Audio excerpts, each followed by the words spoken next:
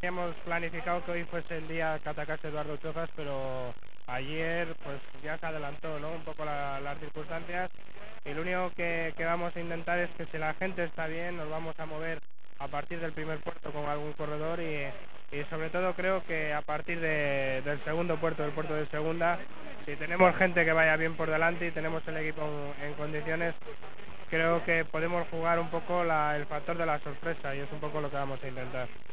Desarrollos, eh, hemos visto, hay gente, nosotros que vamos a disputar la etapa, que vamos a intentar hacerla dura o que vamos a intentar eliminar, quitar diferencia, hemos puesto un, un 21 como máximo, he visto otros, por ejemplo Castorama iba a 23, pero hablando un poquito con Guimar me decía que no, porque ellos no, no intentan y no tienen nada que hacer, y para hacer la diferencia hay que llevar un desarrollo duro.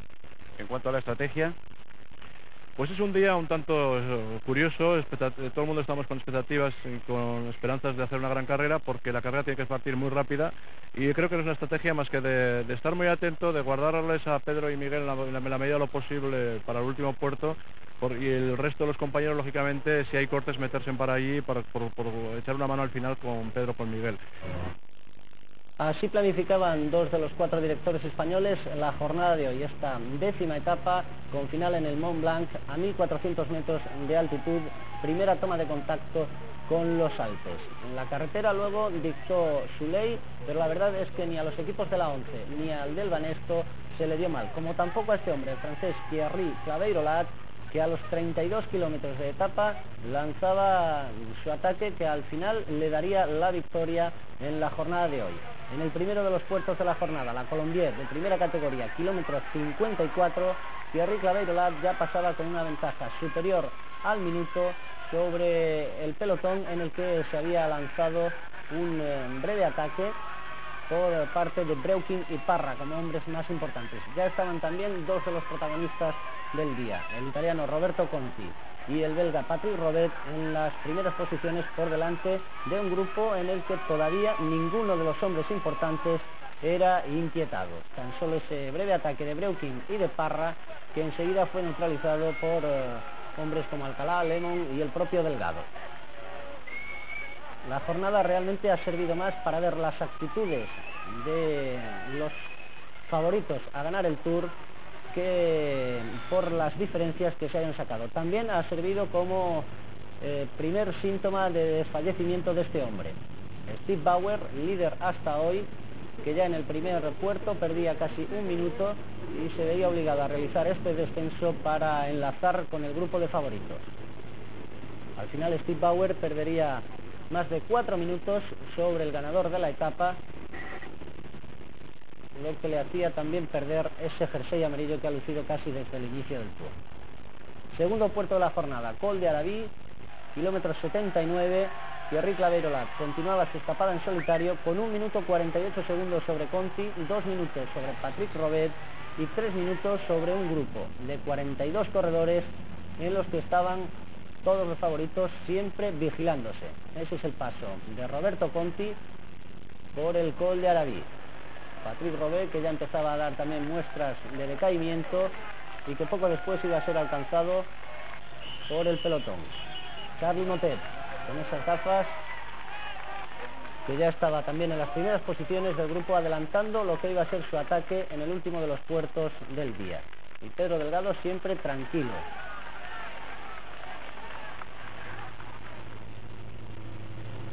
Las imágenes corresponden ya a las estribaciones del primer puerto, del último puerto, donde Claveirolat mantenía su ventaja.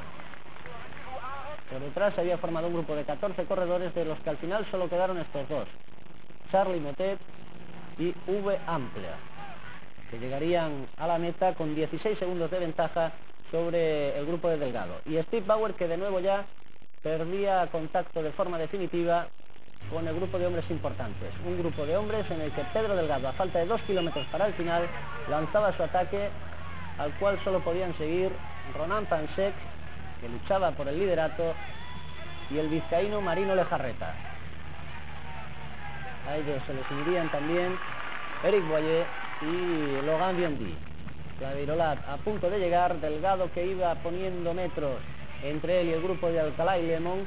Al final serían 29 los segundos que sacaría Perico Delgado, 19 los segundos que sacaría Perico Delgado al grupo de Lemon, Rux, Indurain, Alcalá, Pansec, Buño y Pello Ruiz Cabestani. Sensacional hoy la impresión que ha dado Pedro Delgado, no tanto por los segundos que ha sacado, sino por la fuerza con la que ha salido. La victoria para Claveiro Lat a 1.54 llegaban V Ampler y Charlie Motet y 16 segundos. Después lo haría el grupo de Delgado.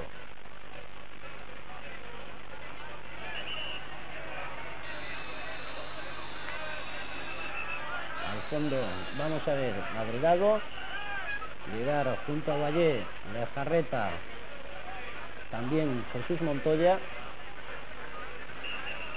a 19 segundos. Como ya ha quedado dicho, el grupo de favoritos a 29 lo hizo Parra, a 57 segundos Anselmo Fuerte, a un minuto Stephen Roche, a 1.57 Bauer y a 7.57 Jean-François Bernard. Todas estas referencias tomadas con respecto a Pedro Delgado. Ronan Pansec, por tanto, nuevo líder del Tour de Francia después de la etapa de hoy, primera alpina. En la general, Pansec tiene 50 segundos sobre Chiapucci. En quinta posición está Alcalá a 7.02 y las diferencias de Pedro Delgado con respecto a los principales son 11 minutos 13 segundos a Pansec, 9.52 de Bauer, 4.11 de Alcalá, 1.21 a Lemon y 58 segundos de desventaja sobre Breutin. Mañana undécima etapa, 182 kilómetros final en Alpe d'Huez como aperitivos a Madeleine y el Glandón. Pedro, tu impresión sobre la etapa. Bueno, yo creo que ha habido una gran vigilancia por parte de todos los a priori favoritos y bueno, yo creo que también la idea favorable ha permitido que bueno que la carrera fuese en un principio más tranquila de lo que yo creo que se preveía, pero bueno, de todas maneras siempre el resultado dura al final. ¿Ha revelado algo en especial respecto a determinados hombres? El ejemplo de Pensec, de Motet. Bueno, pensé como decía un poco ayer a algunos compañeros vuestros, seguro que decía que lo más probable es que se produciese de mayo amarillo de líder, así ha sido. Y por lo demás, bueno, un poco entre los favoritos, ya te digo, a ver, mucha vigilancia. Intenté dos veces el ataque, el primero no pudo ser, pero el segundo ya conseguí cuajar unos metros y luego ya junto con Marino los dos fuimos muy rápidos hasta meta. Ha sido el primer test eh, de los Alpes. A partir de ahora, ¿qué puede pasar? Bueno, pues un poco como se ha visto, yo creo que el equipo Z tendrá que controlar la carrera. Un poco lo venía haciendo, pero bueno, ya con mañana con más razón ha llegado al líder. Y por lo demás, pues yo creo que como siempre resultará una carrera muy fuerte y rápida al final. Al margen del balance de tiempos, el balance moral, el balance físico por lo que respecta a Pedro Delgado, ¿cuál es? Bueno, satisfactorio porque no era una subida excesivamente dura la última, ni tampoco lo era excesivamente larga y eso provoca que el sacar diferencias en una etapa tan cortita era muy difícil. Marino Lejarreta es uno de los hombres que también se constituye en referencia para nuestros aficionados y que lo mismo que hiciera hace unos instantes Pedro Delgado nos ofrece su visión de la etapa en términos generales y en términos personales. Bueno, ha sido una etapa corta, no excesivamente dura. El colombiano era un puerto bastante duro, pero estaba muy lejos de meta y, y la verdad es que no ha habido gran batalla. Y bueno, pues el último puerto es donde en definitiva se ha hecho la carrera y, y como era de prever, no eran, las diferencias no han podido ser grandes, pero esto es lógico. Y creo que la etapa clave es mañana. ¿no? Parece que uno de los trabajos a realizar por parte de los equipos interesados en colocar a hombres en la clasificación general era hacer duro el trayecto a pesar de que fuera corto. ¿Qué pasa? Que el marcaje ha sido tan exhaustivo, el control tan grande, que era difícil establecer eh, esa batalla, esa dureza. Bueno, de cierta forma se ha realizado ese- esa batalla, ¿no? Pero el control es férreo y todos quieren hacer algo. Y la verdad es que se controla el pelotón casi casi solo. Hay algunas escapada- escapadas, pero siempre bajo control, ¿no? Como esta última. Aunque pueden llegar a meta no con mucha diferencia. Y, y la verdad es que el ciclismo cada vez es mucho más complicado y, y mucho más difícil de, de hacerlo. Has estado junto a hombres que figuran en el grupo de favoritos para el maillot amarillo final. ¿A quién has visto mejor y a quién has visto peor? Bueno, al que le he visto muy bien es a, a Perico, ¿no? Que es el que ha llevado la iniciativa del ataque.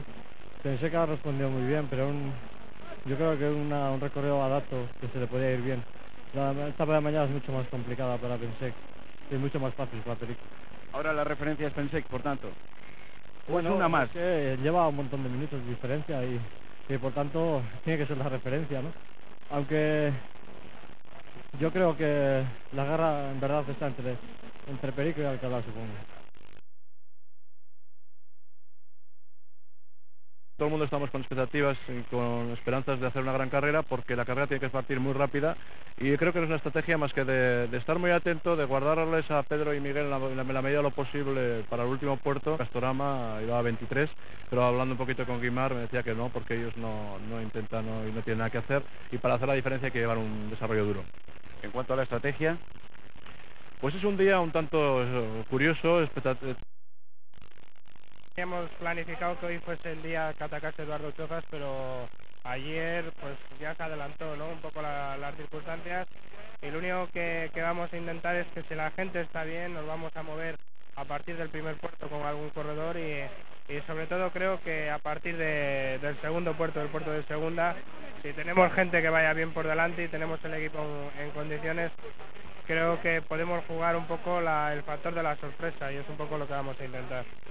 Desarrollos eh, hemos visto, hay gente, nosotros que vamos a disputar la etapa, que vamos a intentar hacerla dura o que vamos a intentar eliminar, quitar diferencia, hemos puesto un, tren- un 21 como máximo, he visto otros, por ejemplo,